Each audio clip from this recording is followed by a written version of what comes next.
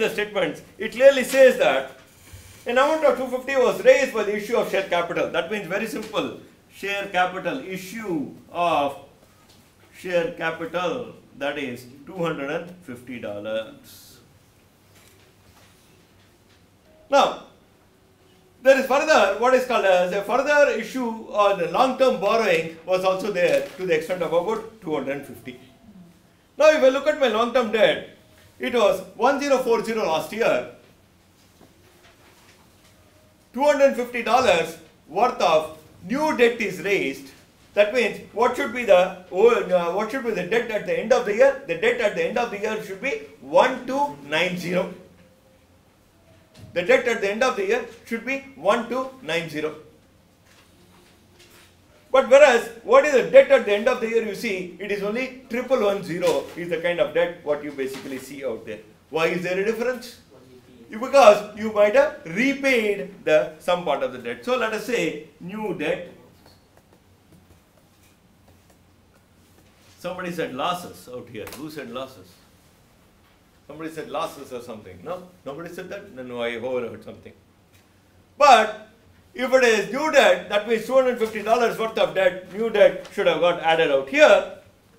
But how much of it is added? If you look at the difference, 1040 plus 250, 1290 minus your 1110, that is about, it has increased by about 180. 180 is the difference out there. That 180 is what you would have ideally repaid. There is no mention of it. Why it reduces? Because unless you repay, it cannot reduce. Or somebody must have said, your karzam off, that is, you have waived it off for you. If they have waived it off for you, then it will come here. Then you don't have to do cash outflow. Nobody has waived it. It doesn't come anywhere out here. So that is debt repayment minus 180 out there. Then there's the last aspect out here, which is basically what we call it as, it is also there out here, that is a point number three in this particular case. Point number three in this particular case out here, which says that dividend paid was 1200. There is a dividend which was paid, which is about 1200. Dividend is a cash outflow, dividend paid.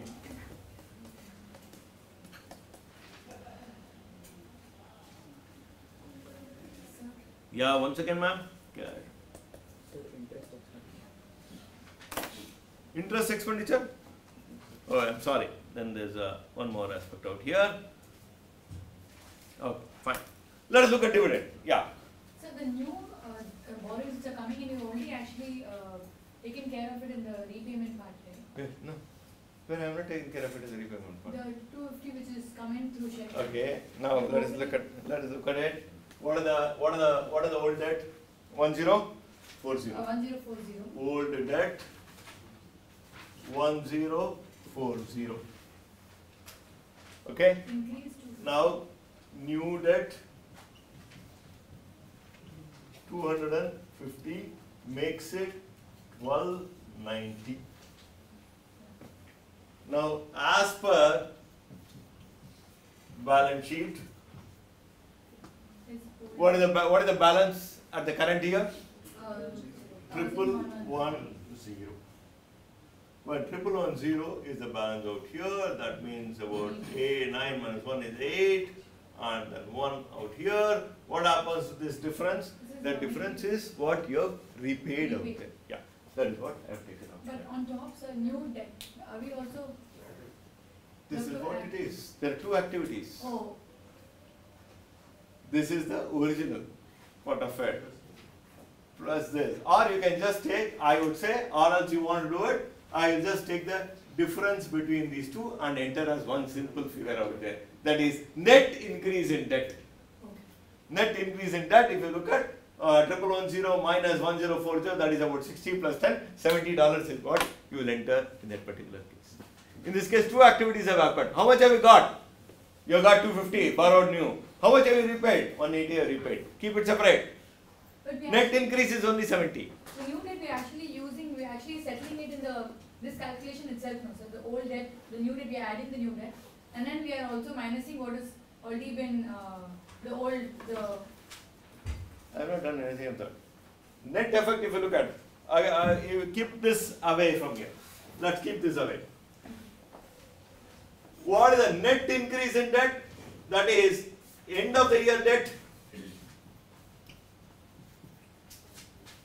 Wait, uh, oh, sorry, DVD. Okay, out here is triple one zero.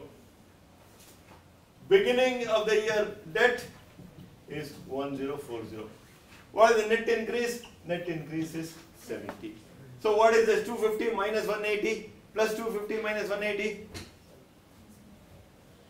So what have I, what have what have you done here? You have treated is the net increase only from this. You have not looked at the what happens. How did it become seventy? Now I have looked at how that became seventy. That becomes 70 not just because of one activity, because of two activities. What are those two activities? One I have got a new debt, other I have repaid a old debt out here. Clear. Clear, Pratishta? Any queries so far? Now, there's one more last aspect out here. If I look at in this particular case, there is what is called as an interest expenditure of $400 in the P&L. Interest expenditure of $400. Interest you pay on what is called as your borrowings out there. Interest expenditure for P&L, P&L statement, sir. P&L statement, interest expenditure $400. Now, anything corresponding to that in the balance sheet, you see, there is what is called as interest payable. Last year was 100 and this year is 230. That means what is the total interest payable this year, due this year? 400 plus 100. What is due for the last year? Total interest you are liable to pay $500 worth of interest. Am I with you, Malika? Following? No. Okay. One second. Interest is an expenditure, interest payable is an expenditure occurring because of a financing activity. Is that clear first? Now, what is the interest expenditure for the year? Interest payable, interest expenditures 400 as per your P&L. Now, what is due last year? That is opening balance at the, at the end of the last year, at the beginning of the year, $100 is due. What is your total liability on the interest as of today, as of this year? Total liability for you as of interest is 400, which is for this year, plus what is due at the end of the last year, that is, or what is due at the beginning of this year. The total liability of interest is $500. Have you paid the entire 500? I, I will check. What is still due at the end of the year? 230 is still due at the end of the year. That means how much have you paid? That is, we are assuming that nobody has waived it off. It is reducing because you paid. So how much have you paid net? You have paid net only $270 out here. So interest expenditure $270. Have I taken everything? Now what is the cash flow from what is called as financing? Minus 9. Now you total all the three, 1830 we had. That is what I call it as, we will let us, let us put it as, uh, I'll move further down. Cash flow from operations. That is 1830. Cash flow from uh, investing activity. Cash flow from financing activity minus triple double one five zero. Wait. Now you had cash at the beginning of the year. Cash and cash equivalent. Now marketable securities you would say that is what is treated as cash equivalent. Now I just add that cash and plus cash equivalent at the opening part of it, opening part of it, that is at the beginning of the year. Why am I adding? Because you are starting your, when you get your salary this year, you are adding it to the money, what you had left over at the end of last month out there. Please note that is the entire pool. So I am just adding that. If I add that, what is the amount out here? 135 plus 25, that is 160. If I total this, then I should get what is called, what is the amount I am getting? 870. 870 if I am getting out here I am getting about 870 that is cash and cash equivalent at the end of the year what you basically check up with your balance sheet out there 200 plus what is called as your 670 out there, it matches. Am I with you on this? So far, now this part of it is clear. What did we do? We took the opening cash. Instead of though, you could have added this opening cash to your operations itself. That is not a problem. You could have started off with that, not an issue. I have tracked all the money. This is what we call it as the direct method out there. Let's not worry about direct, indirect. Let's just worry about cash flow. That's all. Yes, sir. Now, these are the cash flows what I've had from three activities. Now, I need to know what is the cash I have at the end of this particular year. How I have got that. Now, these cash flows have occurred. You are adding that cash to what was left over at the end of the last month or last year. What is the money that was in, left over at the end of the last year is 160. That is opening cash and cash equivalent. Balance sheet.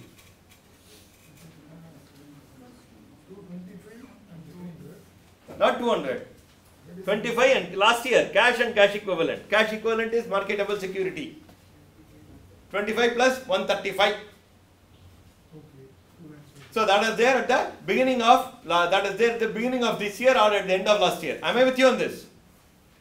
So I am just adding that cash to whatever is the cash flow. That is when you will know. See, simple.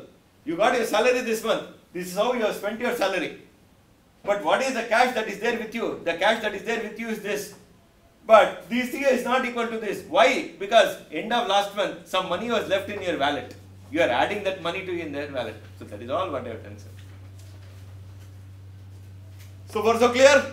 Sir, is there any difference between cash and fund? Because when you're referring to source of fund, you're telling source of, Source of finance. Uh, that is sources of fund, utilization of funds. Here we are looking at source of funds. Source of fund in the sense where you are getting the money from. That is all. there is no difference between cash and Within cash, there is a lot of source of source of we can't say cash entirely because, for example, creditors is a source of fund for you, but there is no cash. They are not giving cash. What are they giving? They are giving you goods instead of cash. That is what I call it fund. Fund is a little more broader term. So the marketable securities is the cash equivalent. Cash, marketable securities is cash equivalent, sir. Normally we take it as cash equivalent. Because anything cash equivalent or any of these instruments which can be converted to cash in a jiffy. I can just go to the I can just go to the market, sell the what do you call it as my securities out there and get the money out there. So it is convertible to cash. It is convertible to cash. These are all called as that is what which is easily convertible to cash. With you on this? So far so good. Now cash flow is clear. Check up with all of them. What are you doing? Sir, they are asking, can you explain opening cash and cash equivalent? Okay, fine. Now, open, what is opening cash and cash equivalent? So, what did you do out here? Imagine through the month, imagine the 1st of February, you got your salary and then you have had a series of expenditures out here. And you have divided your expenditures into three basic parts of it, and this is the kind of amount what you have from each of these three aspects out here. Now, but the cash what you have at the end of the month, the, or as of today, is not equal to an addition of 1830 plus 30 minus 1150. It is little more than that. Why is it more than that? Because when you got the money, the cash this month on 1st of February, what did you do? You added it to the money that was there with you as of January 31st, which was basically left out there. What is the money that was left on January 31st with you? In this case, it is 160. Now, I pour all this together, that is when I will get this money. That is, you start off with this money. Then you add these three. Then basically you will get what is the money that you have. That is how it is. Have they check up if they are clarified? Is it uh, clear? If it's clear, you can just put in a message. I'll just wait for a second. No, let them let them respond. Let them respond, Pratik. Huh? Yes?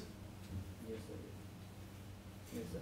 You guys have got it? Fine. If you're still not clear, please tell me. You don't clarify. If there is a question, ask me. Sir, Anshuman is not clear. Anshuman, you are not clear. Okay, fine.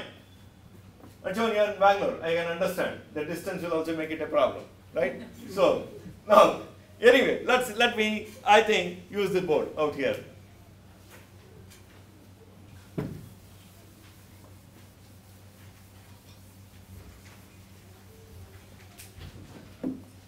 Your cash flow that is generated from the operations out here, operating activity in this particular month is 1830.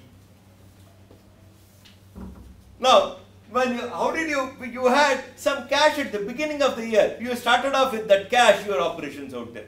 What is the cash that was at the beginning of the year in this particular case? Beginning of the year, you had a cash of about, in this particular case, of about $160.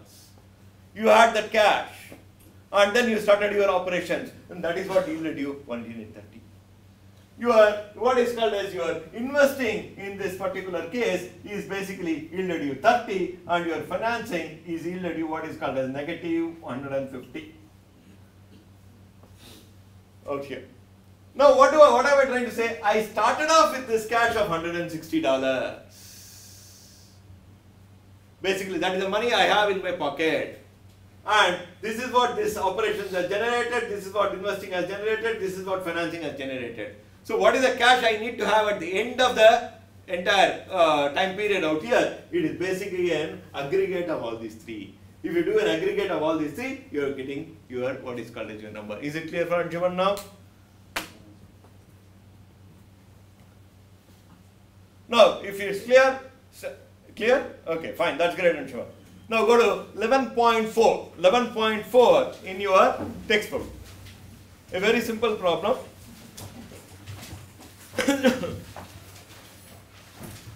very simple problem. 11.4. I specifically sent a mail that you have to carry your textbook as well as your that spiral bond stuff also. You have photocopied it? No. You didn't bring. I think you have to manage with him. No, I need that. Just move it. 11.4. Just spend 5 minutes, 2 minutes reading it, 10 minutes solving it, otherwise we'll solve it. 11.4. Page number, page number 339. 339, page number 339, 11.4, 339, 11.4. Yeah. 338. 338, is it? Okay, 338. Take 2 minutes to read, 10 minutes to solve. I'm going to be patient, even for the guys who are locked down from remote locations. Let's focus here. Last uh, problem, what we did, what we did, we basically traced all the cash, that is cash expenditures, cash ex- income, that is what is the cash inflow, cash out, uh, outflow in a business situation for the entire year and tracked it. In this situation, what we are trying to do, we'll do the same cash flow statement, but we will not do it so directly. We'll try to indirectly trace the path. How to indirectly trace the path? First assumption, if the entire business transactions is on cash, then the profit should be equal to cash what I have. That is, profit should be equal to cash, the amount of profit plus cash at the beginning of the year should be equal to cash at the end of the year. If the entire business operation, including, there is no, imagine there is no depreciation, if the entire operation is only on cash, then what should the cash I have in my cash box should be equal to the profit plus the cash at the beginning of the year out there. Am I with you on this? Now in this case, let us start with that particular assumption. This particular case, what is the profit or loss? Profit or loss is $11,000 out there. That is what I have written. Now, let us go back and adjust those aspects which would have impacted the profit but would not have impacted the cash out there. I repeat, let us go and adjust for those aspects which would have ideally impacted the profit but not impacted the cash part of it. A simple example, depreciation. As an expenditure, if you knock off, it impacts the profit or not? Yes, it impacts the profit. Whereas, does it impact what is called as your cash inflow or outflow? It does not impact your cash out there. So, first and foremost, in this particular case, if I see there is what is called as depreciation for the year, the depreciation for the year is about 26,400. So, I add back depreciation 26,400.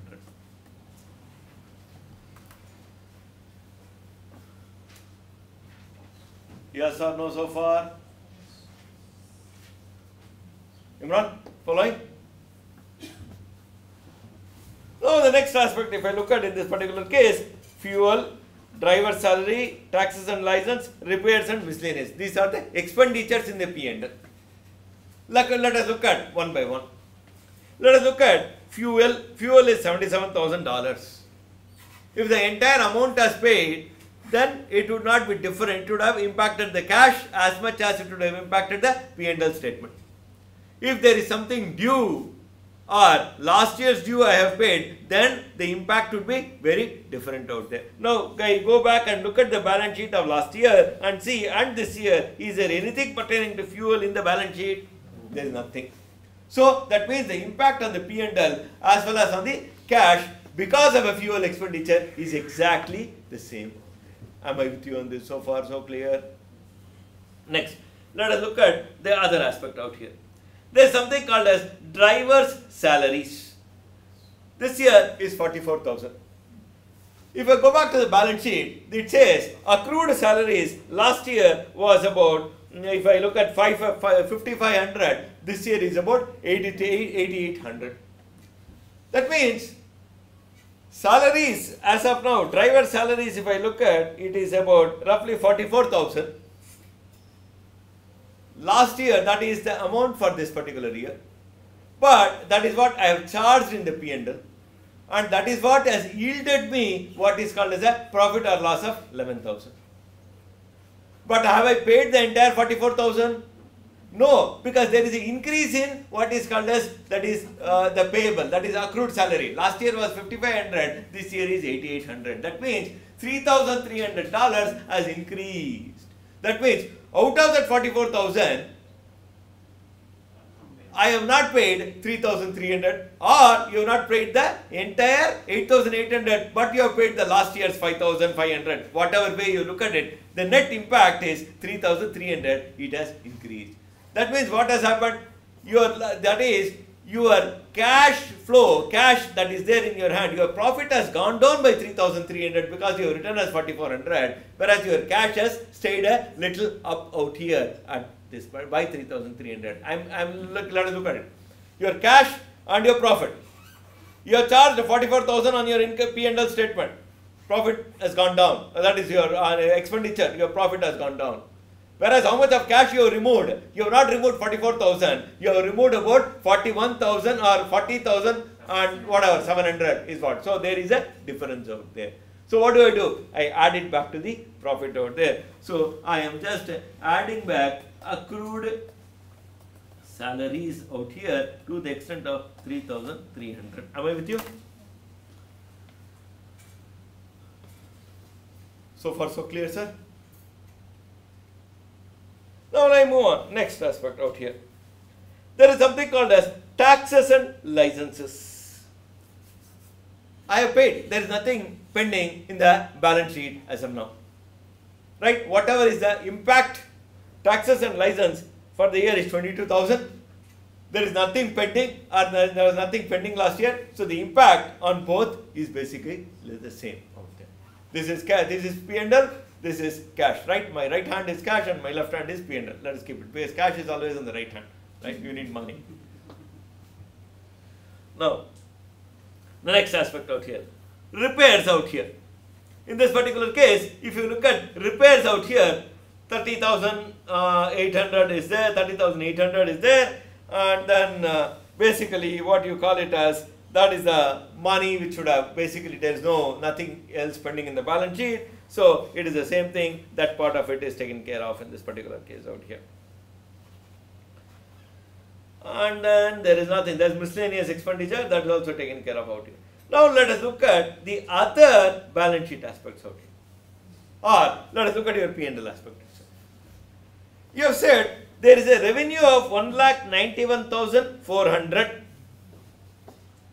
when you have said there is a revenue of 1 lakh 91,400 that means ideally that is the money that you should have received out there that is 1 lakh 91,400 out here your profit your what is called as your profit would have gone up then if you had received the same thing your cash would have also gone up have you received the entire money if you look at your debtors out there in this particular case are accounts receivable Last year was 26,400. This year is 18 th- eight- 8,800. That means what has happened?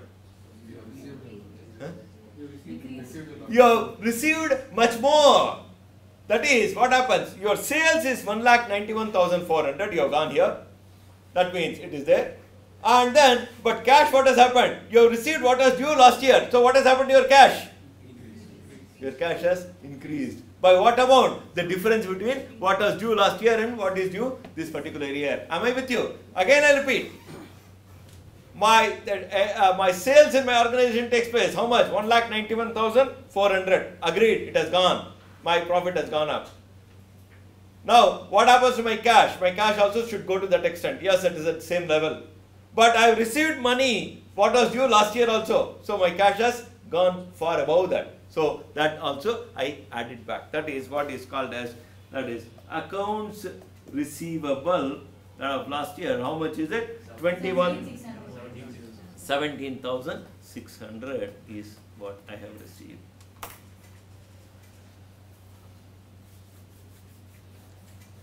Then what else? We looked at receivable. Then when we look at receivable, we have to look at what is payable also. If you look at your payables, accounts payable, accounts payable is the sense is for basically for all your purchases.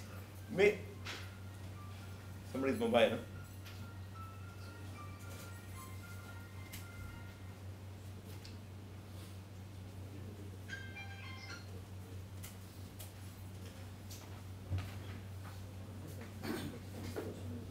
Everybody put your mobile off. 15 minutes more, but please put your mobile off.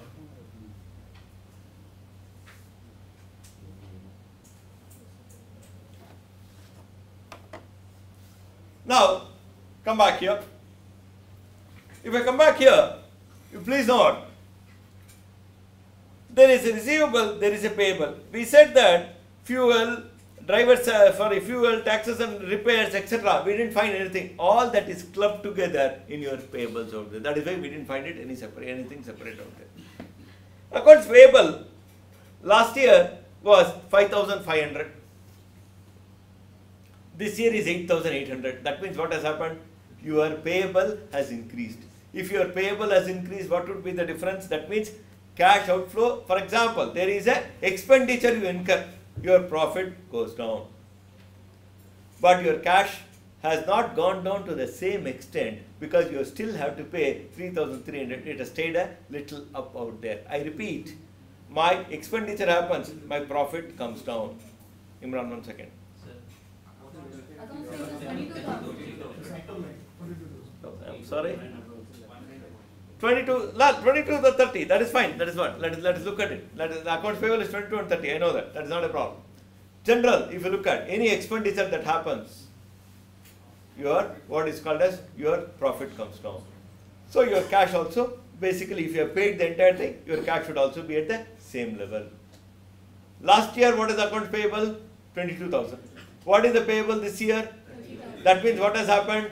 8,000 payable is increased. That means when your cash and expenditure, when, when your profit comes down to an extent, extent because of an expenditure, will your cash will also be come down to the same extent? Your cash has stayed about 8,000 rupees higher because you are not paid. Please understand.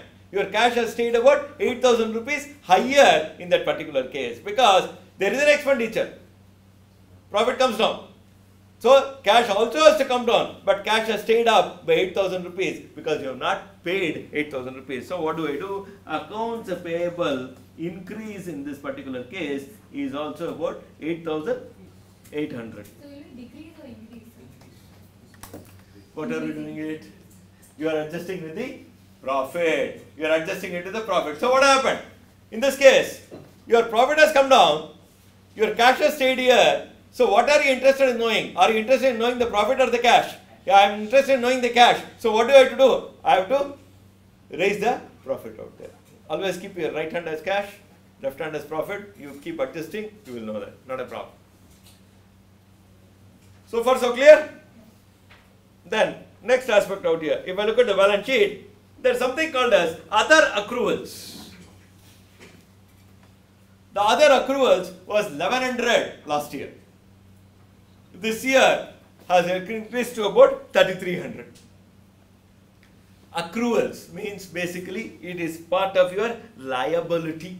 Liability means you ought to pay. That means you ought to pay means you would have charged it as an expenditure. So when you ought to pay liability out there, that is your charge is an expenditure, your profit has come down. Whereas what you have to be, your cash has stayed up by $2,200 because the difference between 1100 and 3300 out there. Your cash has stayed up by two- twelve- $2,200. Yes, Malika, you're not following. You're lost out. Tell me. Sir, uh, when we're talking about accounts payable, Uh, I'm going back to the. sure, no problem. The accounts payable, what all can be categorized as accounts payable so that I can correlate it to the, uh, the first statement, which is the, Anything basically which is related to payment for basically your core, your manufacturing related operation. Normally your purchase of your raw material, etc. or pay, etc. I mean, or your what is called as inventory, different kinds of uh, traded goods, etc. All that will constitute account payable. For example, I might purchase fuel in that case, right? For example, if you have a an engineer might know is a lathe machine. In the lathe, you have something what is called as a uh, coolant which keeps flowing on the job that is there, whether honing, boring, whatever you do. I'm not an engineer, but still, uh, I've seen a lathe that now that coolant I can buy. That is not a raw material, but that is necessary for my processing. I would buy it on credit. So money I have to pay will be part of your accounts payable, bills payable, creditors.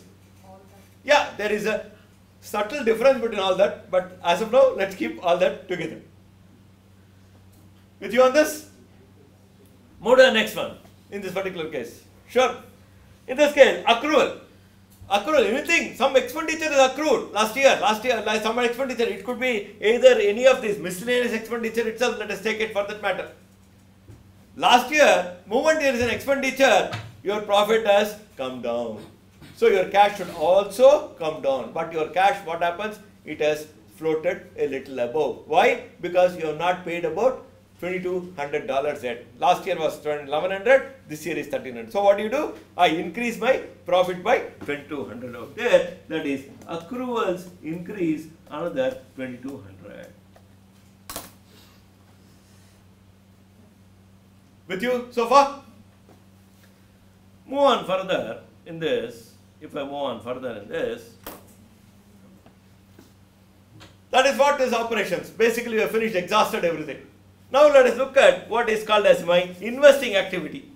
If I look at my investing activity, ideally I should look at the asset side of the balance sheet. All of us know that. If I look at the asset side of the balance sheet, there are only three items. Cash, accounts receivable and net total fixed asset. Cash I will not worry about. Accounts receivable we have taken. Net fixed assets out there. If you look at net fixed asset, last year was 2,24,400. This year is 1,98,000. So what has happened? It's the, if you see the difference, that is exactly equal to the depreciation.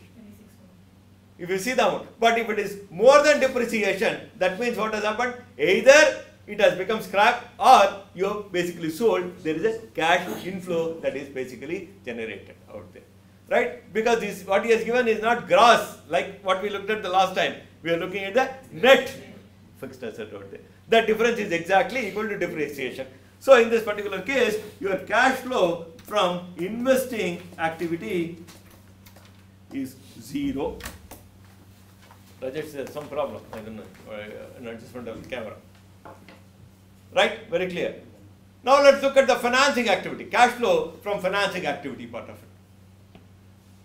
If I look at the cash flow from financing activity out of it, if you look at the financing activity is what? Long-term debt and capital. Even let us look at the capital. Last year's capital was 96,800. This year's capital is 85,800. So what has happened? Adjusted to the loss. adjusted basically to the loss. You look at the loss, 96,800 minus 11,000 will basically give you 85,800. That is basically what happens. Your capital, when we say capital is always share capital plus your reserves and surplus. That is what we will look at owner's equity. That is what I said right in the first class itself, what I taught you. When I say capital, equity, equity is not only what is denominated in shares because your value of equity changes every year with your reserves and surplus changing because your retained earnings get added. So capital means capital, share capital plus your reserves and surplus, the entire thing. In this case, it's a loss, so it has gone down by so much. So that is not, there is no impact on the cash flows per se. Let us look at the long-term debt. If I look at the long-term debt, last year was one lakh twenty-nine thousand eight hundred. This year it is only one lakh one hundred. That means what has happened? Prepaid. You have basically repaid what is called as well, cash flow. That is repayment of debt. What is the amount out here? 29,700. Twenty-nine seven hundred. Now what is the cash flow you are getting out here? What is the cash you are getting out here? Just add it and subtract. Huh? 17,600. Seventeen. What is the last part of the question out here? Last part of the question. He says that Crumb does not understand how the company can be 17,600 ahead of last year in terms of cash in hand with a loss of 11,000. You have traced it. Now, this 17,600 plus what is the last year's cash what you have? 4,400. You add that. What do you get out here? It's not magic. Right? It's not magic, Pratishtha. No, it's not magic. It's just that I have shown the entire calculation out here. the answer is already there. we just went. Right? That's all. So what did you do? We just traced it. This is what is called as indirect method. So what we did, we traced it. Whichever is easier for you, you can do it. Not necessary. I have taught you two methods of looking at cash flows. Now, I want you guys to try exercise 11.5, not now, as a homework. And by the time you come tomorrow, exercise 11.5 should be solved. It will take not more than 20 minutes. It will take not more than 20 minutes. And for students who are not physically present here or online also, by the time we meet tomorrow, they should be ready with 11.5. Only then we will sort of be comfortable. So with this, I end cash flow. Tomorrow, you bring your manual, that uh, what do you call it as my handout, what I've given, or open on your laptop your uh, Maruti Udyog's annual report, but opening on the laptop because I'll be running from pages to pages, you will keep moving up and down. If you're comfortable with it, it's fine. Whatever. I'll be discussing only the annual report of Maruti Udyog, which is already printed out there in this basic handout what I've given. Clear on that? Fine. Thank you very much.